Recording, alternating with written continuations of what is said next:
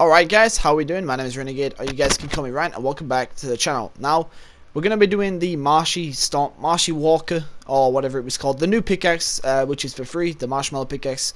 Alright, so the first location is just by Paradise Palms. Uh, it was, you know, it's the Truckers Oasis, alright? It's a little gas station on the edge of the desert area. Okay, it shouldn't be too hard to find. Uh, just go to where I was. Now, the second location is the Ice Cream Parlor. Once you're here, boom, drop, do the keep Mello emote, and you're good to go to the next location. You can either, you know, get a plane or something and just go to this location, same game, or you can just do what I did and uh, let someone kill you.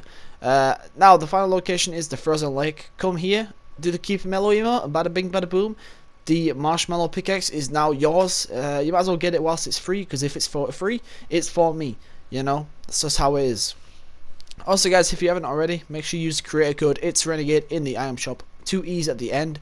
And uh, yeah, I love all of you guys and uh, enjoy the free pickaxe. And I'll see you guys later. Peace.